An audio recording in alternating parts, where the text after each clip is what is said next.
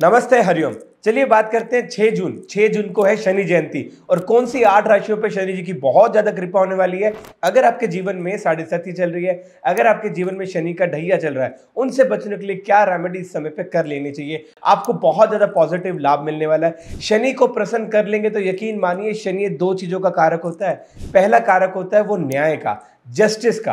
आपके जीवन में जो चीज़ें आपके फेवर में है, उनको फेवरेबल रिज़ल्ट देने का काम शनि का रहता है। दूसरा कारक होता है कर्म का। जो भी आप काम अपनी लाइफ में करते हैं, उस चीज़ को, उस चीज़ को कर्म कहा गया है। उस कर्म को आपके अनुकूल अगर आप रखते हैं, अच्छे कर्म करते हैं तो शनि आपका पॉजिटिव रहता है। तो बड़े ध्यान से समझ लीजिएगा कि वो कौन कौन सी आठ राशि हैं, जिनको शनि की पूर्ण कृपा का फल प्राप्त होने वाला है। और ये जो उपाय मैं आपको बताने वाला हूँ, जो कि आपको शनि जयंती के समय पर करने हैं, आपके जीवन में बहुत अच्छे पॉजिटिव और सकारात्मक चेंजेस लेकर आने वाला है। सबसे पहले ये समझ लीजिए कि शनि जयंती कब बनाई जाती है। शनि जयंती ज्येष्ठ महीने की कृष्ण पक्ष की अमावस्या को बनाई जाती है, जो कि 2024 में 6 जून को बनाई जा रही है। आपको क्या बात पता है कि सूर्य और छाया के पुत्र शनि देव हैं, और शनि देव जी का जन्म ज्येष्ठ माह की अमावस्या को हुआ था, और इस दिन शनि जयंती बनाई जाती है। अगर शनि आपका इम्बैलेंस होता है तो आपको ये बात पता होना चाहिए कि शनि आपके जीवन में किस किस फेस में क्या क्या इम्पैक्ट डालता है।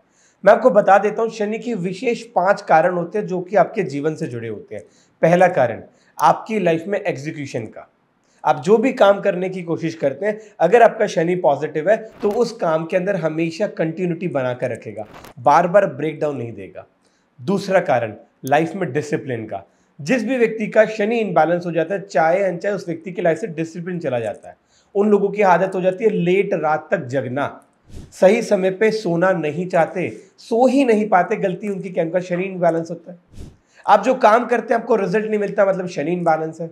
आपके जीवन में धन को बहुत ज़्यादा स्लो डाउन कर देता है। शनि की कहानी के ऊपर एक बात आती है कि नवग्रहों के अंदर से जब शनि, रावण ने शनि को अपने पैरों के नीचे दबा कर रखा था तो हनुमान जी ने जब लंका गए थे तो शनि को वहाँ से मुक्त किया था। इसलिए जिस भी व्यक्ति को शनि को बैलेंस करना होता है, वो हनुमान जी की पूजा भी करना शुरू कर देता है। हनुमान चालीसा का रोज अगर आप नियम से पाठ करते हैं तो शनि आपका कुछ भी नहीं बिगाड़ता। शनिचरय शनिचरय शनिचरय शनि एक ऐसा नवग्रहों में प्लैनेट है, जो कि न्याय का कारक है। शनि नवग्रहों में एकमात्र ऐसा प्लैनेट है, जो आपके कर्म से जुड़ जाता है। अगर आप अच्छा कर्म करेंगे तो जब भी शनि की महादशा आएगी, शनि का ढैया आएगा, शनि की प्रतंत्र दशा आएगी, शनि की सूक्ष्म दशा आएगी, शनि की प्राण दशा आएगी तो इन सारी दशाओं में शनि आपको पॉजिटिव रिज़ल्ट देगा, अगर आपका शनि खराब नहीं है तो। शनि खराब होने के चार विषय लक्षण होते हैं। पहला लक्षण होता है कि ऐसा व्यक्ति अपनी लाइफ में इनडिसिप्लिन क्रिएट कर लेता है।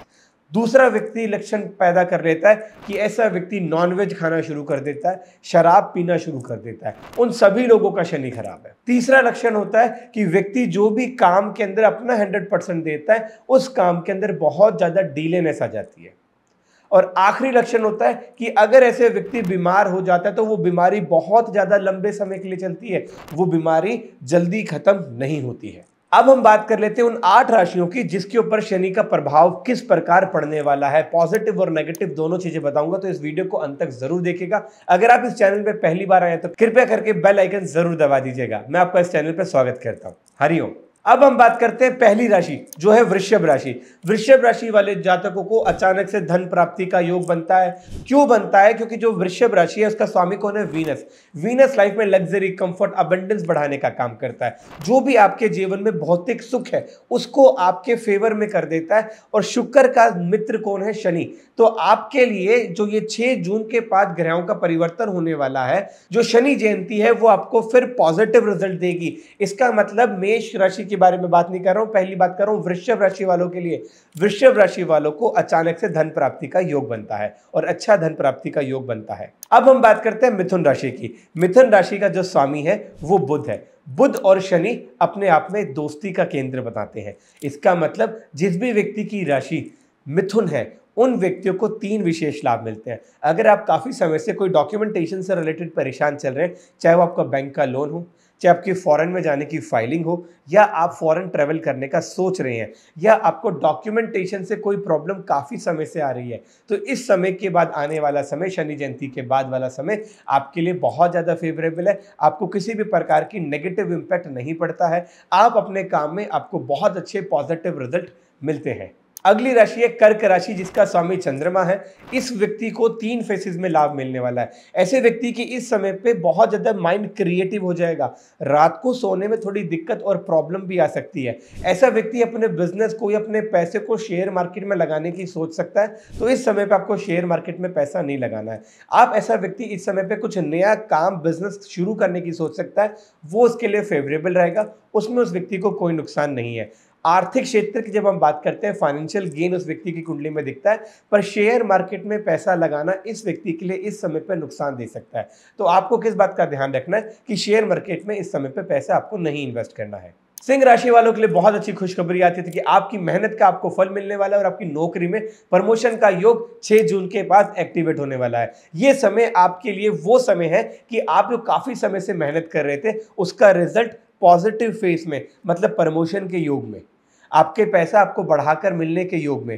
और तो और एक बहुत अच्छा बात इसके अंदर आता है कि आप इंटर स्टेट कहीं पर भी ट्रैवल भी कर सकते हैं और अच्छा रहता है कि अगर इस समय आप किसी धार्मिक क्षेत्र पर ट्रैवल करते हैं तो ये आपका केंद्र और भी पॉजिटिव हो जाता है।